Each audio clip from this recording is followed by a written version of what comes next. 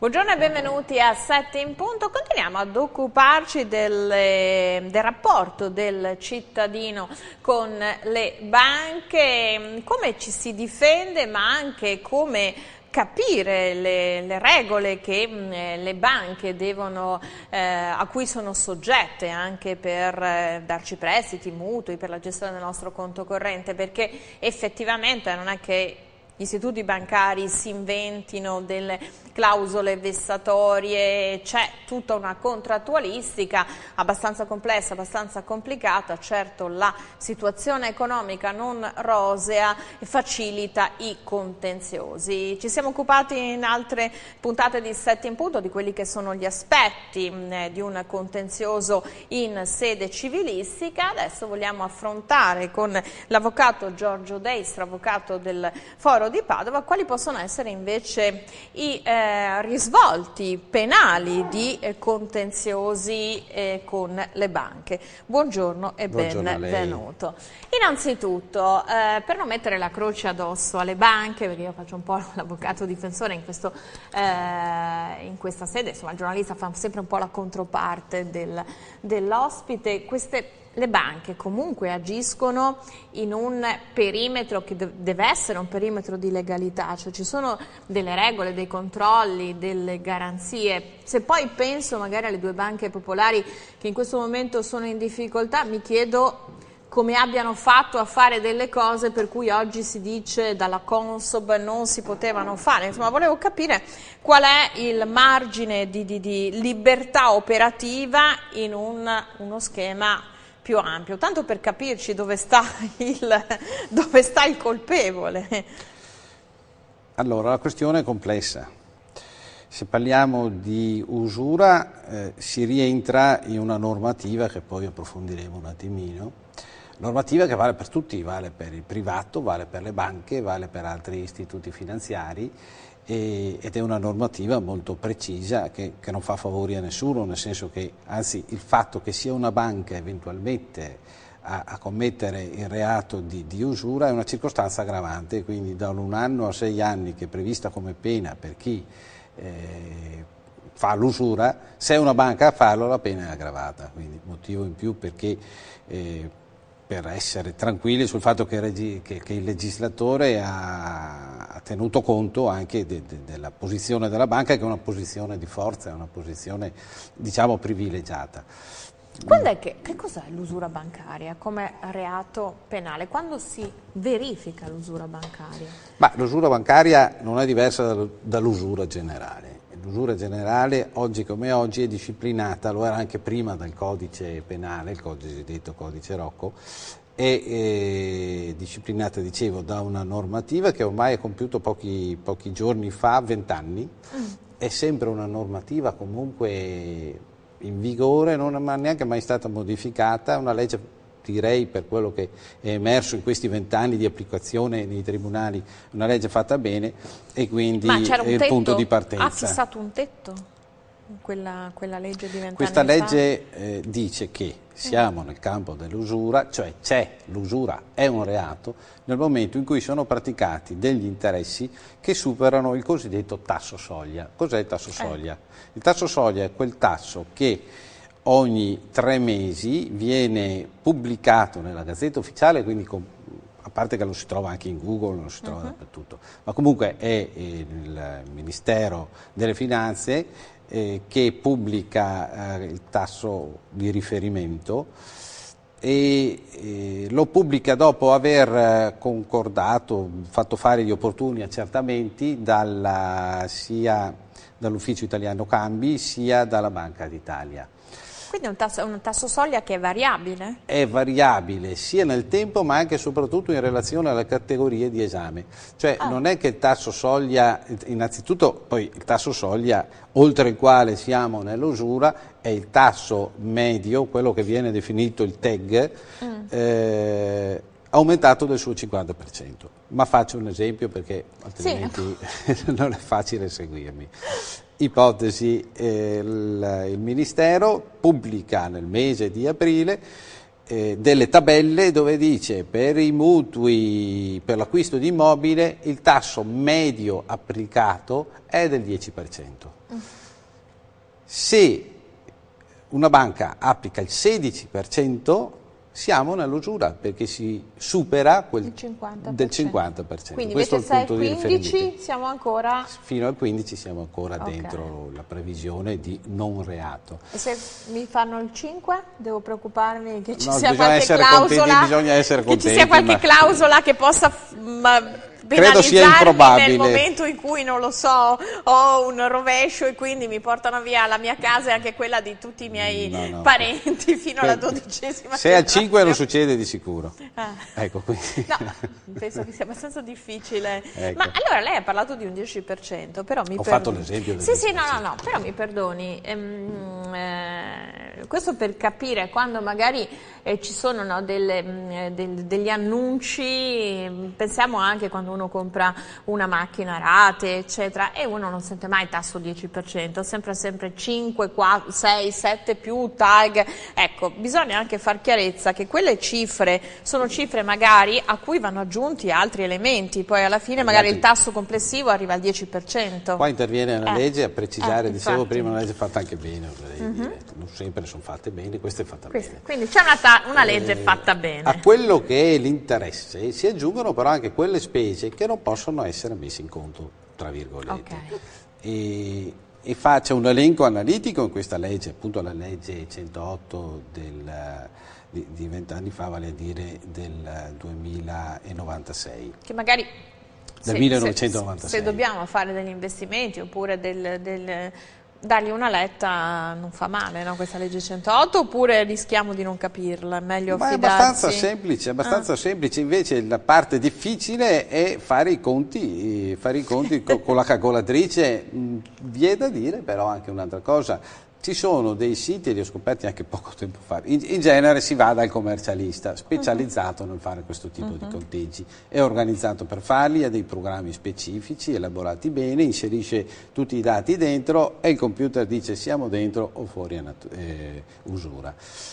Questo nel, nelle situazioni complesse che durano da anni e che quindi non possono essere risolte se non dall'esperto. Non sono capace neanche io, vado apposta dal commercialista. Sì, sono i periti di cui voi... Ma delle indicazioni si trovano già su Google, ci sono dei programmini che si trovano, non è un problema eh, che danno già una prima indicazione. È chiaro che se si vede che si è in una situazione incerta si va da, dall'esperto, se si è dentro si sta tranquilli che non si è vittime di nessun reato, si si va fuori e si va dall'avvocato a far fare la denuncia. Eh, denuncia. Qual è il confine tra la denuncia di un eh, reato che si può risolvere eh, in, di un contenzioso in sede civile e invece quando c'è proprio un reato con eh, risvolti penali? Cioè, come Beh, faccio eh, a capire in che ambito mi trovo? Se siamo nell'ipotesi dell'usura, vale a dire che civilisticamente ci, si fa la causa, si fa opposizione al credito ingiuntivo, se questo è il momento in cui una persona si, si decide a far fare i conti, se siamo nell'usura, non è che ci sia una usura civile o una usura penale, l'usura va in, in, in sotto i due punti di vista. Raramente eh, si fa la denuncia alla banca perché perché vi è una certa remora del, della gente a farla, ma in realtà potrebbe farla benissimo. Beh, io posso capire perché mi metto magari nei panni, eh, uno quando ha una situazione di questo genere fa causa per due motivi, o non pagare quello che la banca richiede o avere un risarcimento, quindi non è che ha interesse di fare una causa per cui, non so, il direttore X piuttosto che il direttore Y in una interpretazione magari anche banale eh, vada in galera eccetera. Invece perché sarebbe importante visto che lei ha detto c'è una certa remora a fare denuncia perché sarebbe importante avere il risvolto penale? Perché una sentenza può fare perché giurisprudenza e sì, al ecco, che possa spiegare? fare giurisprudenza perché se il caso è semplice, se la usura è chiaramente dimostrata, non è che il giudice non fa altro che rimettersi a quello che gli dice il perito, neanche l'avvocato. Il perito dice siamo nell'usura, benissimo, c'è la condanna. Il problema è questo, cioè, anzi, quali sono i vantaggi nell'entrare nella stanza del giudice penale? Esatto. Sono questi Innanzitutto eh, io consiglio di fare un esposto e non una denuncia. Esposto mm. significa eh, far presente con un determinato atto alla Procura della Repubblica che sia in corso in questa situazione e si chiede che sia il procuratore a individuare il responsabile da una parte e, e, e, valutare se effettivamente vi sono i presupposti che per si pensare apre un fascicolo di inchiesta. Esatto. C'è anche il problema di individuare il responsabile, perché non è detto che sia il direttore della filiale che apre il conto, perché in effetti il direttore è un dipendente eh, un livello più o meno elevato sotto un profilo così di carriera, diciamo, ma a chi va il vantaggio di un'eventuale usura? Va alla banca non a quel direttore. E quindi si fa l'esposto contro il consigliere, col, il consiglio di amministrazione? Si fa ed è la Procura della Repubblica che individua il responsabile. Potrebbero essere anche tutti i consiglieri di amministrazione okay, se sono quelli infatti. che hanno deliberato quel tipo di mutuo a quelle condizioni contrattuali. Quindi, quindi, la mia non era un'interpretazione goliardica. Eh, si va in cerca del, del, responsabile, ripeto, non è detto, anzi non è il direttore. Ma quante situazioni lei ha trattato di questo genere? Perché poi adesso mm, necessariamente io penso a Veneto Banca e alla Banca Popolare di Vicenza, no? che poi sono situazioni abbastanza eh, complicate. Lì che cosa è successo? Da un punto di vista legale, se, se ci può aiutare a capire, no? Il, perché si parla di parla eh, clienti giorni. truffati, si parla di consiglio di amministrazione che ha comunque per cui ci sono delle inchieste in corso e sono inchieste penali ovviamente con esposti certo. della procura. Ci fa un po' capire... Eh, Ma ecco, innanzitutto dobbiamo uscire da, da, dal tema di cui stiamo parlando sì, adesso, sì, lo no. faccio senza problemi. Sì, sì, proprio volevo una sua opinione da non c'è più un'usura. Eh. Il problema è l'acquisto di azioni di una banca, acquisto che viene cioè cos'è la truffa in caso? Si può ravvisare? Eh, nelle denunce che ho fatto io, depositate mm. in procura di Padova, è stata ravvisata la truffa come capo di imputazione. Sì, sì, no, Poi si andrà in dibattimento, eh, ci sarà una sentenza, diranno se c'è o non c'è la truffa, però la procura di Padova l'individua come truffa. Il caso a cui mi sto riferendo adesso, ma non è l'unico, è quello in cui il direttore di banca eh, sollecita, in qualche modo impone diciamo l'acquisto delle azioni della banca che lui rappresenta, quale condizione per poter accedere a un finanziamento di importo relativamente superiore, ma anche di poco, alla somma che viene investita nell'acquisto di queste azioni. Azioni che purtroppo sappiamo che fine hanno fatto e quindi eh, si crea il problema di valutare se, eh, se questo tipo di azione possa concretizzare il reato di truffa. In questo caso però il responsabile del reato, il direttore non è la banca, perché il direttore che materialmente dice comprami tot azioni, in cambio ti do il mutuo. La banca e scusi, le inchieste che stanno invece coinvolgendo, penso alla Banca Popolare di Vicenza, penso ai vertici dal Presidente e altri che sono attualmente indagati proprio credo per truffa, no? Lì in eh. quel caso eh, l'accertamento e le indagini in corso sono estesi anche alla Banca d'Italia, mm. perché quella situazione di, di decozione, di, cioè una banca... Non dovevano essere soggetti ai controlli di garanzia? Devono, ess so devono esserlo, eh, magari perché? i controlli sono stati fatti e magari chi ha fatto i controlli ne aveva fatti come doveva farli. Eh, la procura che lo accerta eh, se vi sono responsabilità, in quel caso rispondono a titolo di concorso sia gli, eh, gli accertatori, diciamo, gli uh mhm. -huh. ispettori della Banca d'Italia, sia quegli organi della, della banca che hanno causato una determinata situazione. Una banca è una società che, come qualsiasi altro imprenditore, svolge attività imprenditoriale. Quindi se non la svolge bene, fa delle speculazioni. Che possono essere bene, legittime, borderline esatto. e illegali. No? Se in buona poi... fede o in mala fede è proprio la procura che deve accertarlo. Ecco, ma parlando sempre di reati penali relativi a contenziosi bancari, situazioni di questo genere, perché poi oggi parliamo di quelle che interessano il nostro territorio, però sono state nelle banche toscane, cioè abbiamo, ne abbiamo sempre viste di, che hanno riguardato anche grandi istituti di credito. Che cosa succede? Cioè, qual è l'inghippo che poi fa sfociare nel, nel reato? Proprio per dare, per dare anche un, così, per far capire al, a chi ci ascolta, perché poi eh, diventa abbastanza facile no? dire, ecco, eh, non, alla fine le banche sono un elemento fondamentale del sistema economico.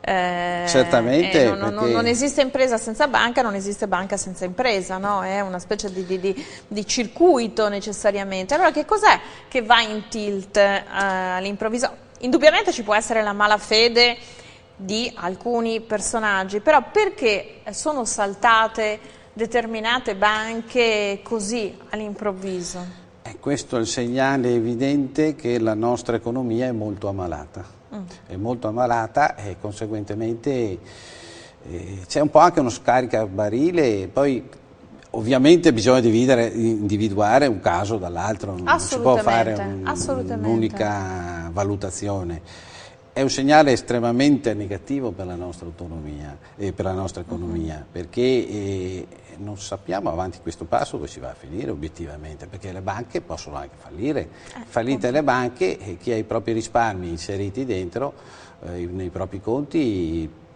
adesso io non voglio fare previsioni così il negative. Ma... Il bail-in in qualche modo può eh, cioè, è una legge per capire anche... Cioè... Ma è, è, una legge che è stata fatta in fretta per cercare di dare anche all'opinione pubblica un'idea di, di, di, di, interviene il governo e risolve i problemi. Non sappiamo se li risolverà o meno, non mm. lo sappiamo. Non, qua non è questione di politica, è questione di meccanismi finanziari, è questione di situazioni che vanno vagliate volta per volta e vedremo anche nel futuro cosa succede. Mm, all'orizzonte le nuvole non, sono sicuramente rassicuranti, nell'ipotesi ad esempio che vi sia il cosiddetto Brexit, cioè l'uscita della, della, Gran Bretagna dalla comunità europea, eh, non sappiamo cosa succederà, ma mm, non lo sa nessuno, non è che non lo so io. In questo momento, proprio per questi meccanismi finanziari complessi che determinano contenziosi che possono avere risvolti penali, i clienti che si rivolgono a lei, no? io parlo proprio all'avvocato che si trova a dirimere queste situazioni, che cosa evidenziano, cioè con che contenziosi arrivano? Poi quando arrivano da lei, per l'aspetto penale vuol dire che siamo in una fase eh, grave, no? che, cosa è, è, che cosa emerge, che cos'è che non funziona, che non va, che cos'è a cui bisogna stare attenti di modo che avere anche la consapevolezza che siamo in un ambito penale. Direi che eh, la, la, risposta è abbastanza semplice. Pa torniamo a parlare di Sì, chiudiamo la parentesi, la riflessione, l'opinione su... Ma, era doveroso, usura, insomma, affrontare un... per fare anche un po' di chiarezza, no? Perché... Generalmente succede questo, il problema nasce o perché arriva un decreto ingiuntivo o perché il cliente... Eh, vuole andare a fondo sui propri rapporti con la banca. Quasi sempre va dall'avvocato civilista, mm. eh, il quale apre, eh, per così dire, un, una fase di accertamento, di valutazione, eccetera. Se il collega civilista mi fa presente che il suo perito ha individuato l'esistenza concreta dell'usura, gioco fatto, mm, io devo limitarmi a stendere... D'amblè diventa reato penale. Eh, sì. Poi sarà la procura a, a valutare se il perito, se il certo, nostro perito vabbè. ha fatto la perizia. Però d'amblè ci sono le, le, le, premesse per un esposto in procura. Beh, le premesse ci sono senz'altro ed è opportuno anche farle perché appunto fare l'iniziativa, intraprendere la strada anche penale, non in alternativa, anche ecco, penale. Perché è opportuno anche... Perché l'accertamento del reato dà luogo in ogni caso alla possibilità di chiedere il risarcimento dei danni morali, eh, cosa che difficilmente potrebbe fare il giudice civile. Il giudice certo. civile guarda i numeri e, e, fa la sua sentenza. L'aspetto penale, eh, le, diciamo, i danni morali sono quale conseguenza di un reato, quindi uh mhm. -huh. a noi serve l'accertamento del reato, la costituzione di parte civile e quindi in questo caso poi chiedere eh, il ristoro di questa forma di danno. Io le chiedo un, due minuti di pazienza, diamo spazio alla pubblicità, poi torniamo a parlare proprio nel merito del, del reato penale, degli, dei risvolti e del perché vale la pena presentare una denuncia penale. Tra pochissimo, grazie.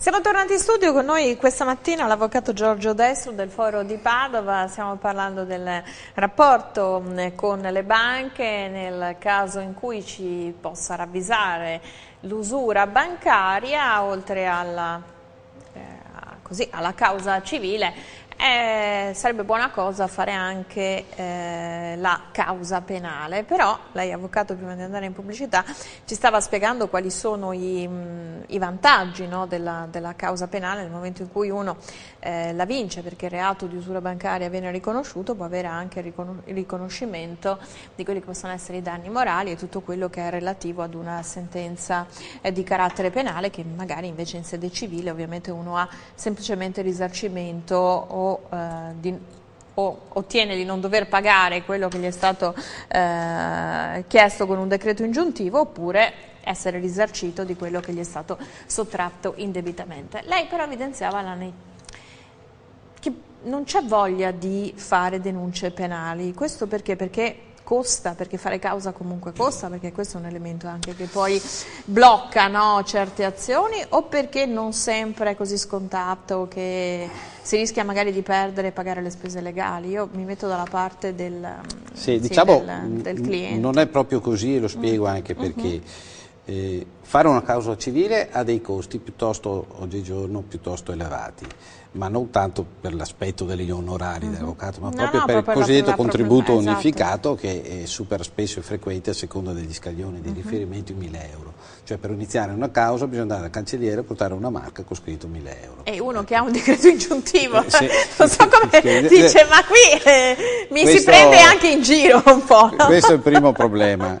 Secondo, una causa civile si può vincere, si può perdere. Se si perde, oltre ad aver già pagato i, proprio, i 1000 euro e gli onorari dell'avvocato, deve pagare anche controparte. Nel penale, fortunatamente, non ci sono marche da bollo e conseguentemente eh, ci sono solo gli onorari de, de, dell'avvocato. Per di più, se una persona diciamo, è in grado di gestire a un certo livello culturale, una denuncia può farsela anche da solo, basta andare dai carabinieri, uh -huh. in quel caso, dicendo mi è stato detto io ho questo contratto, questa è la situazione accettata dal commercialista. Ecco, serve sempre però un accertamento eh sì, da parte sì, di un perito, sì, eh, non è che uno può dire anche mi dà l'idea e vado a fare un esposto. In... La procura apre il procedimento quando ha degli elementi tali da ritenere fondata eh l'azione, sì, poi, eh, poi, la verifica. Ma Però intanto, insomma, ci devono essere degli ecco. estremi. Ecco, non... Quindi non c'è il pericolo di, di, di Diciamo, perdere un, una causa penale cosa significa? Significa che viene assolta la persona nei cui confronti si è fatta la denuncia, ma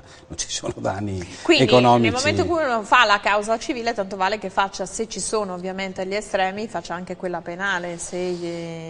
Il fatto è questo, ah. bisogna vedere caso per caso. Uh -huh. Se arriva un decreto ingiuntivo, l'unico modo per bloccarlo è fare l'opposizione al decreto ingiuntivo, vale a dire atto di citazione in opposizione al decreto ingiuntivo e quindi andare dall'avvocato perché è necessaria la certo. figura e andare in tribunale. E quindi è costretto a fare in ogni caso l'azione civile. L'azione penale viene in un secondo tempo talvolta anche come, come, mezzo di pressione perché effettivamente si può sempre raggiungere un accordo tra banca e cliente e questo influirebbe notevolmente nella valutazione che il magistrato penale fa relativamente al comportamento della, de, della banca perché se il danno viene risarcito si può arrivare tranquillamente eh, a una situazione favorevole e addirittura anche alla soluzione. Quindi, talvolta si usa la strada penale come elemento di pressione, ma c'è di più, qual è il vantaggio anche di una iniziativa penale? Che adesso, proprio con la legge di cui parlavamo prima, la 108 del 1996, è ammessa la costituzione di parte civile da parte di associazioni eh, di consumatori. Di consumatori. Eh, questo che cosa significa? Che cosa... Significa che se eh, e, e, questo apre la strada alla cosiddetta adesso di moda class action. Eh, sì. Ecco, perché adesso oggigiorno si parla di Sì, poi anche noi, anche noi, andiamo un po' alla. seguiamo le mode, no? sì, non è questione di moda, è questione che, che, si sta evolvendo, è normale che sia così. No, no, moda nel senso che anche da un punto di vista emotivo, il voler a, a fare delle azioni piuttosto che altre, nel momento in cui senti che comunque c'è un'azione corale ti senti più in forza, no? Si ha più forza, l'unione fa la forza, eh. vale anche nelle, nelle, nelle cause.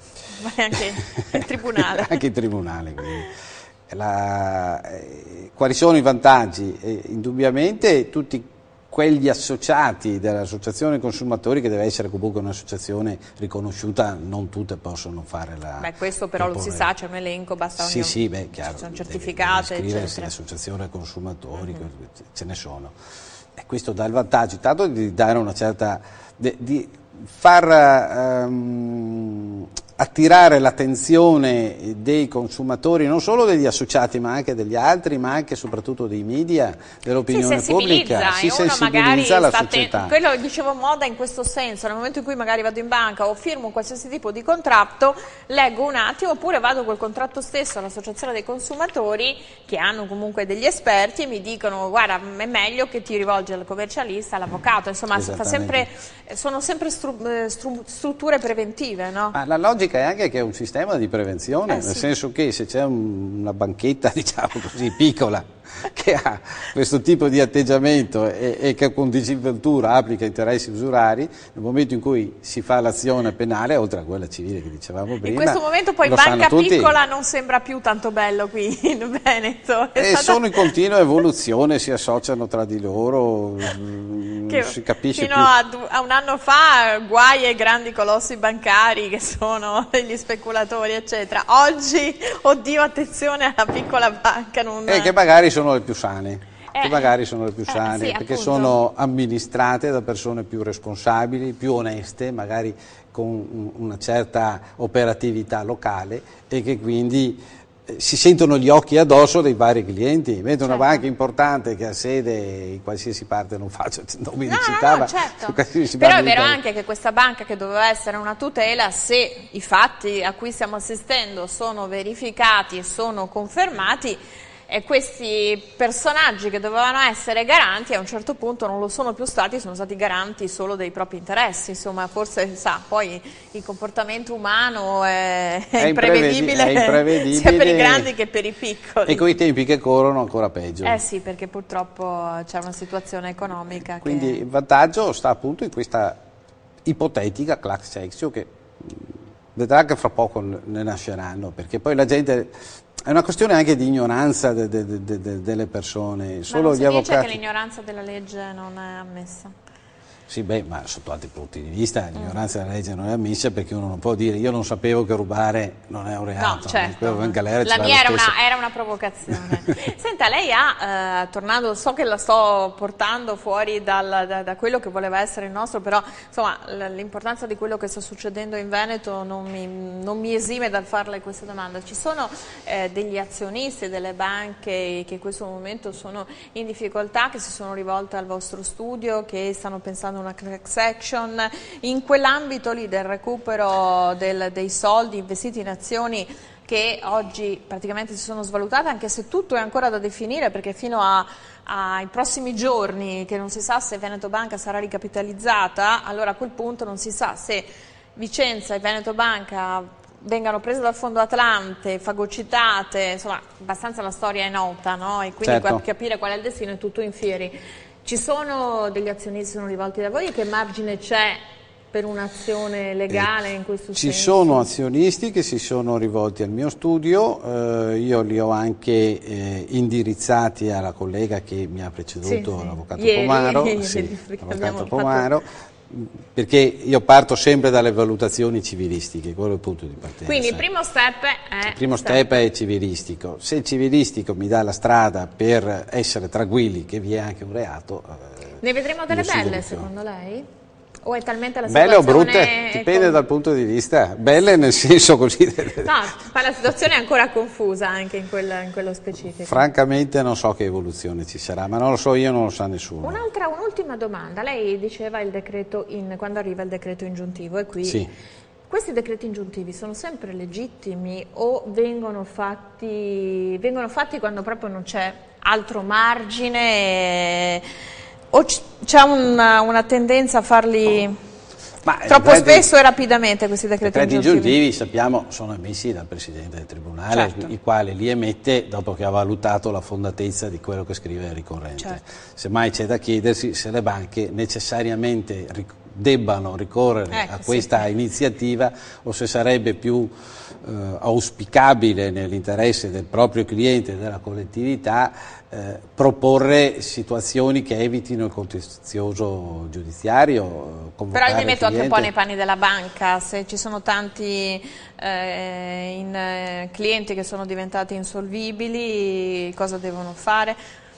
Ma sono valutazioni che ogni banca fa in modo diverso. Ma sulla base ovviamente del, del, del, delle persone che lei assiste, cosa vede? Che c'è un, eh, un, atteggiamento che è più facile andare al decreto ingiuntivo ogni volta che ce n'è la possibilità piuttosto che cercare un dialogo? C'è un atteggiamento di questo genere che si Il registra? punto è questo, che talvolta il decreto ingiuntivo che fa la banca si trasforma in un boomerang, perché mm. come è stato detto dalla collega, costringe chi lo riceve ad andare dall'avvocato per chiedere cosa devo fare, sì. l'avvocato gli dice portami i contratti che vediamo se i conti li hanno fatti bene, se c'è l'usuro, se c'è l'anatocismo, se ci sono situazioni... Quindi non tutti i mali vengono per noi. No, potrebbe trasformarsi in un boomerang, quindi credo che una, una banca accorta che abbia un ufficio legale Accorto. responsabile nei confronti del proprio cliente, cioè la banca, eh, valuti bene prima Talvolta stranamente non fanno questi accertamenti e da 100.000 euro che deve, è successo, sì, che, devono, che, richiedono col decreto ingiuntivo non solo non li prendono ma devono dargli neanche indietro. Io ringrazio l'avvocato Giorgio Destro, ringrazio voi per averci seguito, subito dopo la pubblicità, altro ospite, altro argomento, grazie.